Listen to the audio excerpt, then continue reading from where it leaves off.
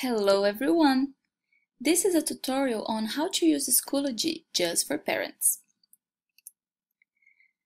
So we have here on our table of content, uh, first, how to access Schoology, then courses and folders, submitting an assignment, how to use your calendar, and communicating with our teachers.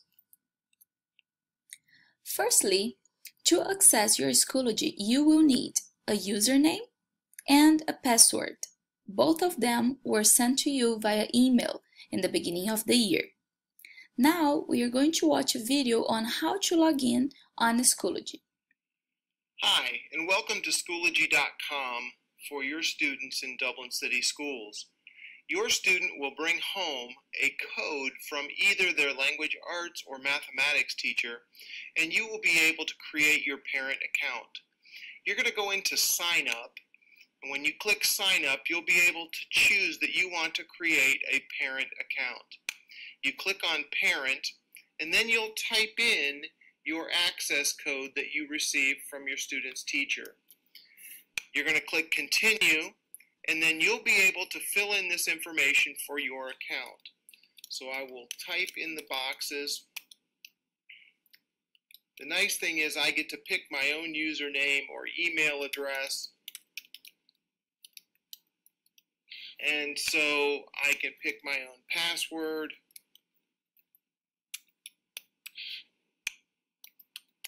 That way it's easy for me as a parent to remember the username and password or the email and password. I can uncheck the box because I don't want periodic Schoology updates and I can say register. When I do that, it's going to automatically connect me to my student's account and I will see what my student has available to her. So I can click on her information and I am now in I can see the different assignments that she'll have.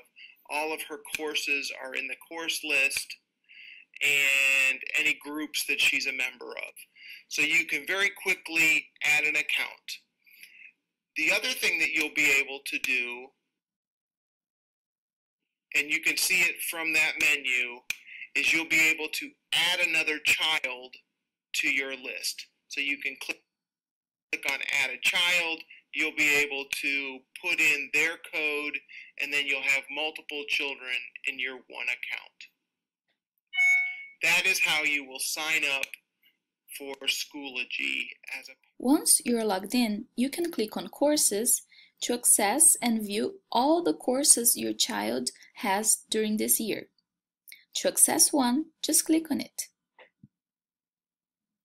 Then this page will appear Usually we have one folder for each quarter, and here are some examples of activities you may see. Usually teachers have one folder for assignments and one folder for materials. On the right side of our page, you will see some of the graded activities your son or daughter has to submit. To access it, just click on it. Now, how to submit your assignment. Firstly, you will click on the assignment, which you just did, and then you click on Submit Assignment in the Submissions part. Then we will follow the next steps. Just a reminder, this is a feature that only appears on students' Schoology page. It does not appear on parents' page, neither for teachers. Once you click on Submit, this page will appear. The first one is upload, which means you can upload any pictures or files, Word documents to Schoology. The second one is create, where you can type your answer directly here or paste the link to your project. On resources, students can actually link it to Google Drive, so they can just select their document or slides presentation and submit. To finalize it, you just click on submit. The next feature is the calendar.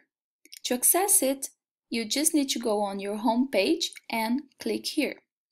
This is a great tool for your child to keep track of his or her own work and assignments, We highly recommend everyone to look at it daily so they can plan their week ahead properly. To check one of the assignments, you just need to click on it. The next feature is how to communicate with teachers. On your home page, you will notice a little letter on the top bar. Click on it to access all the messages you have. If you want to send a new message to a teacher, just click on New Message. So that's all. Thank you very much. I hope it was helpful.